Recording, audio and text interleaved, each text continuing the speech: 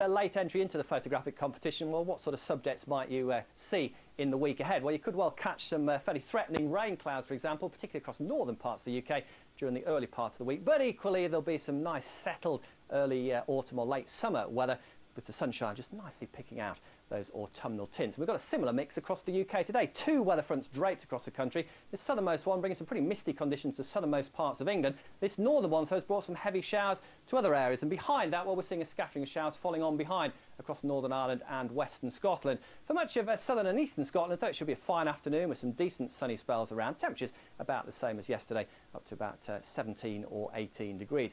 Gusty winds, though, across northern England causing a few problems, particularly east of the Pennines. Those heavier showers, though, edging away a little further south as into the North Midlands. But for most of the Midlands, East Anglia, much of South East England, a pretty warm afternoon, 24 or 25 Celsius feeling very pleasant indeed. Still those brisk winds across the southwest of England, but that's pushed away that low cloud. So here too, you should get a few sunny spells come the afternoon. As you will across Wales, you can see the sun glinting quite nicely there off the waves in the Irish Sea.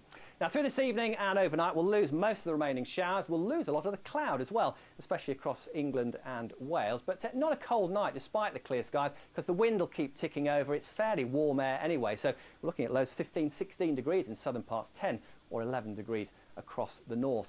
Tomorrow, well, this weather front's going to try and make a comeback from the southwest. It will introduce those misty conditions once again to southwest England. It'll start to produce some rain as well, which will uh, begin to push in from the west. So that'll eventually push up towards Northern Ireland through the day, fringing in across the west of Wales, southwest England, but to the north and the east of that, and that's much of the UK really, looks like a dry day, best of the brightness in eastern parts, and some decent temperatures again, 22 or 23 Celsius in brighter parts of the southeast, perhaps 20 Celsius across the southeast of Scotland.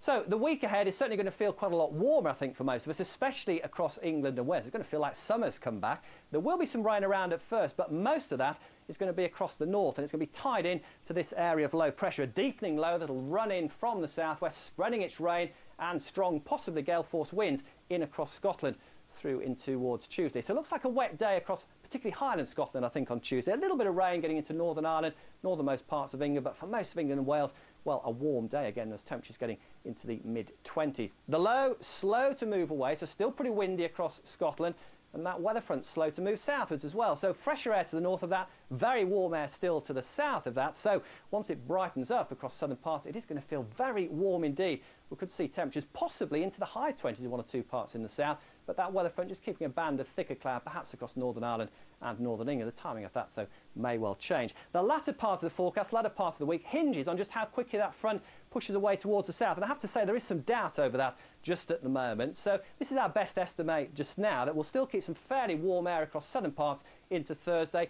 Fresher air still across the north. The weather front itself, quite a weak feature, so not really giving very much in the way of rain. And by the end of the week, well, most of the Atlantic weather front still kept at bay by a fairly weak area of high pressure. So I think still temperatures near or slightly above average for most. A largely dry story and some fairly pleasant autumn weather as well. Temperatures as high as 23 Celsius. That's it from me for now, but now back to Miriam at Strang.